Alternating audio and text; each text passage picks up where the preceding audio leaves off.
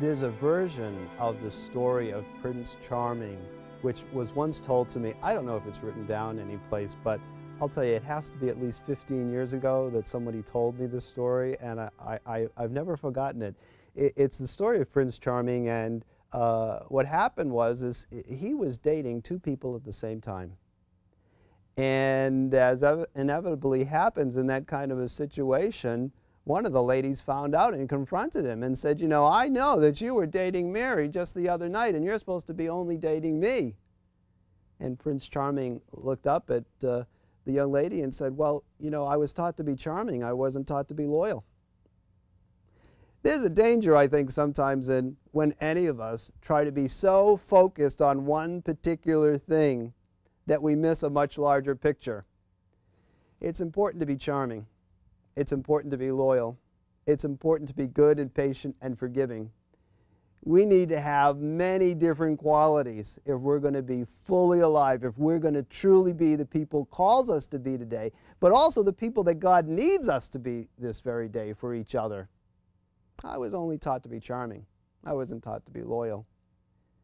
This very day, God calls us to full life in one situation, we might have to be able to learn and know how to mingle patience with a truly strong word of correction, of loving correction to help somebody know that they might not be truly believing in the dignity and the goodness of God. If in that particular example we're so focused on being able to tell people about the rules of God, that that's the only thing that we're focused in getting them to know is these are the rules that God wants you to follow, then we're mistakenly only letting them think or believe that God is just a God of rules.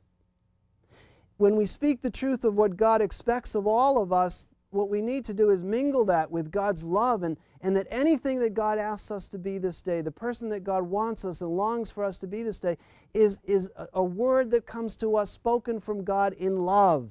All of the commandments of God, as we think about them, as we see them lived out, as God speaks to them in the gospel stories, are always underscored as words spoken out of love for us that we might truly be the person that God created us to be this day.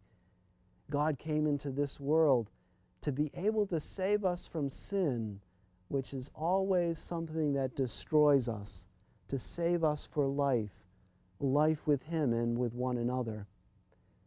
This day, then, let us try to the best of our ability to know truly what God calls us to do, to be, to say let us know more every single day about our Catholic faith so that when we speak about our Catholic faith, we might be able to do it in such a holistic way that others will see the beauty of the truth of our faith and claim within it true life, claim within it a meeting of Jesus Christ.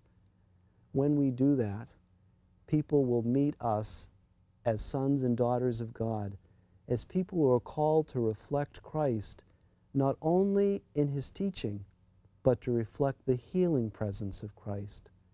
It's then that it can be said of us that we are good and faithful servants who reflect fully the face of God. God bless you.